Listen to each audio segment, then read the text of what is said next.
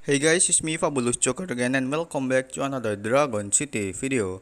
Today I'm gonna hatch a brand new High Ascended Supreme Dragon on my low level account.